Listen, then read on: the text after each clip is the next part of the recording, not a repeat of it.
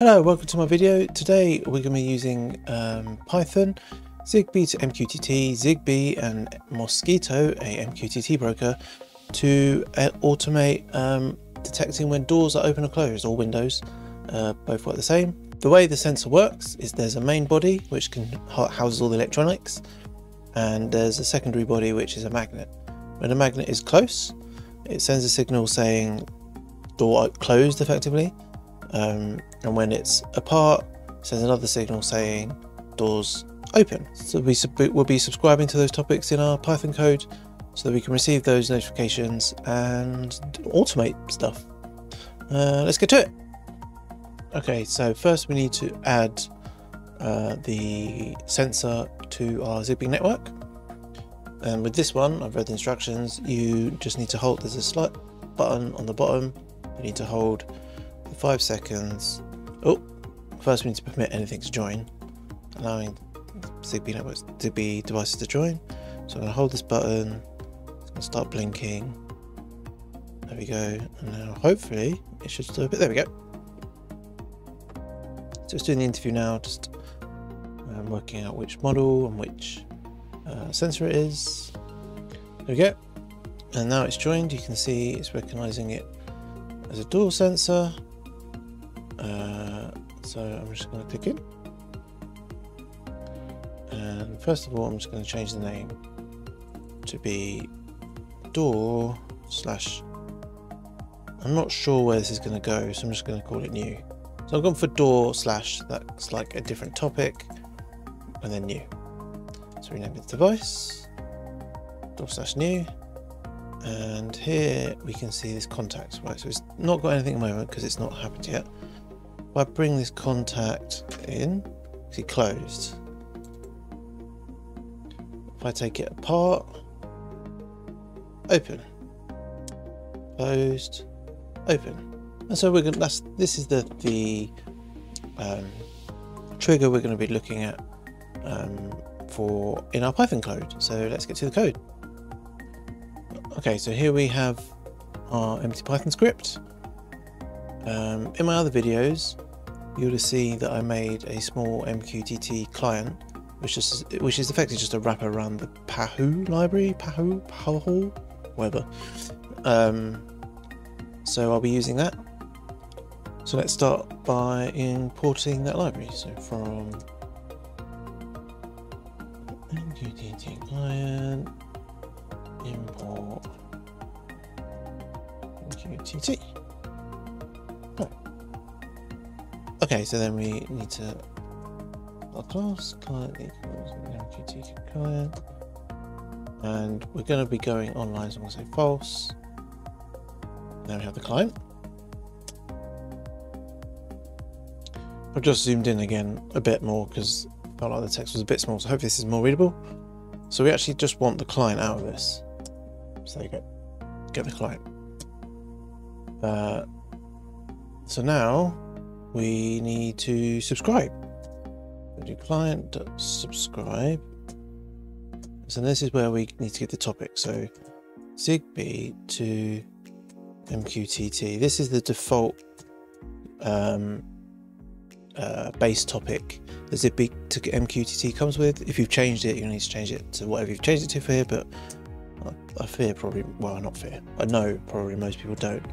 And I need to give the name of the device, which was door sensor new, I think? Door new, yeah. Okay. And then we need to say client dot equals. Okay, so this is on on message. It's going to call a function called on message, which we haven't written yet. So let's write it. So let's go define on message, and we're going to pass in the client. So this is from the documentation, what gets passed in. It's the client, the user data, and the message. And what we should do now, this is very similar to the video I did on automating your lights with sensors. Um, but I'll still do it again here. Uh, so we're going to print the message. Okay, so what's happening? We are uh, initializing the client, we're subscribing to the topic, and then on message, we're going to fire this on message, and we're going to just to print the message. And then because this um, is we want this to be continue running, we're just going to put a while loop at the end. So let's run that code. So here they are. Put them together.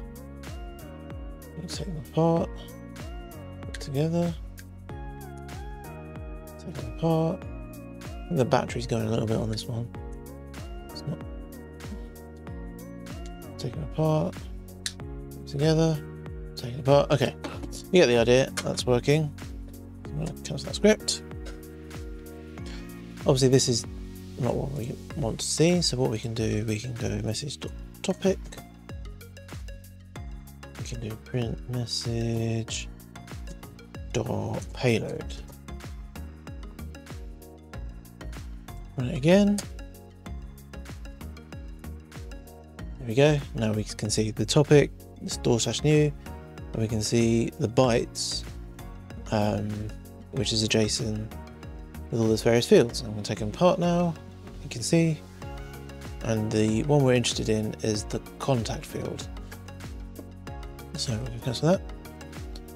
I'm going to say payload equal message dot topic. Nope, not topic. Payload. Uh, just look my notes. What we do? Decode. That's it. Decode. UTF 8 is what we want it in. Payload. And then we want to import JSON.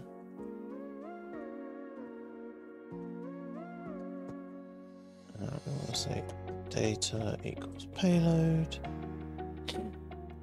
JSON dot loads reload if data contacts print door is open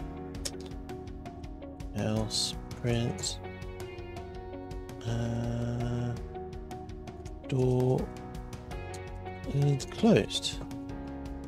Okay so let's see if this works. I've done this fairly quickly. Uh, so I'm not holding up too much hope. We're running together. Ha. So together door is open apart door is closed. We've got it the wrong way around. If there is contact the door is closed. And if there's no contact the door is open. Okay um, so there we have it. We're receiving the notification the updates from this sensor as to whether there's contact or not and we can tell whether the door is open or closed. Um, the many things you might want to do about this we could link it to the lights here. So when you open a door you turn the light on. Um, so like my uh, automating lights with sensors with motion sensors um, this is the script that we will be using that video. I'll put a link to it up here somewhere or up this corner. I don't know it'll be hopefully it will appear somewhere you can click on it if you want to go watch this video. But these are the two functions that we had from that script. So I'm just going to take those and dump them here. And you can see what these functions do. They just publish a message the MQTT broker to set the lounges where I am set the state as on or off based on the two function names. Um, so I guess what you'd want is if it opens to turn the light on. So I'm just going to put here uh, turn light on and kind of weird I guess. We, you wouldn't probably want it the door is closed to turn the light off. Um, but just for fun why not grounds? Uh, let's do it. Turn light off. And this is the beauty of, of, of why I find Python like or code uh, scripting coding in general. We have this from a previous function. This is all the logic of this has all been written. And now it's easy to make fun automations based on your previous experience as you're growing.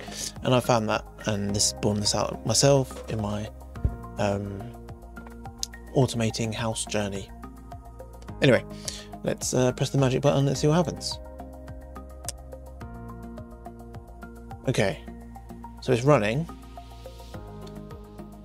Let me put it together. Door is closed. I don't know if you can see that the light's off. Okay, what I'm going to do, I'm just going to turn one of these lights on. Okay, I'm going to open it up. There you go. You can see the light come on and off. Eh. The sensor's a bit dodgy and the battery's going. And open.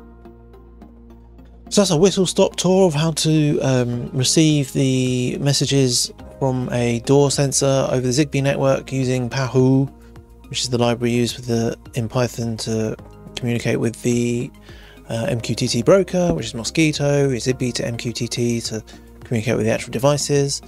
Um, the main way I've used these at, here at home is I have kids and they often will go into the back garden uh, or open the front door sometimes to go to get something from the car. And I want to know so I've got the sensors on the doors and if the kids open the door I get a notification on my phone. Um, I've connected up to the Viber API that sends me a message over Viber um, maybe I'll come back around and do that at some point. Uh, but there you go